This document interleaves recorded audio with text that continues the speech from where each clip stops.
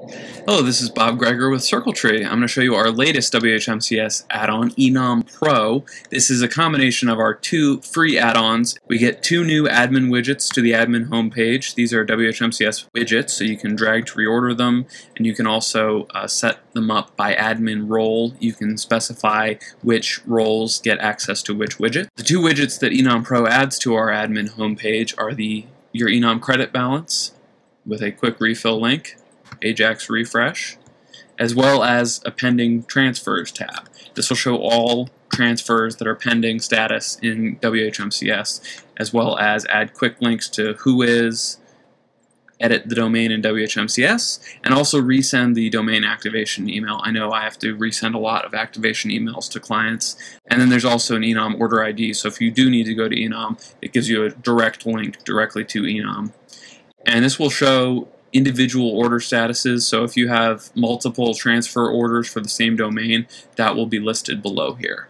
Another feature that it adds, it includes some help to get you started with the name spinner, including how to get it working with the Ajax name spinner. We also offer installation services. We can customize this to your shopping cart to make sure it's working for you.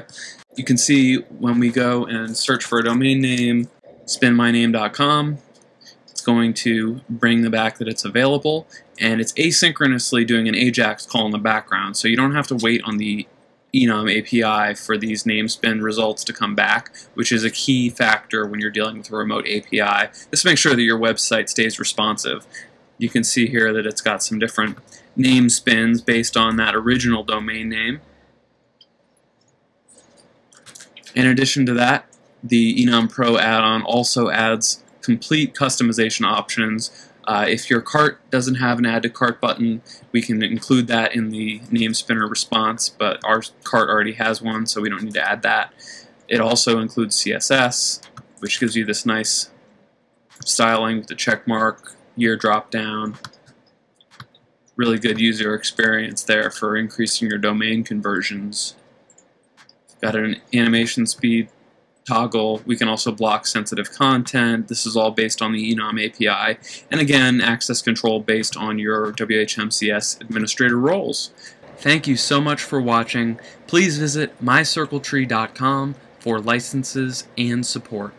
Use the displayed link to get $5 off our Enom Pro add-on module for watching this video.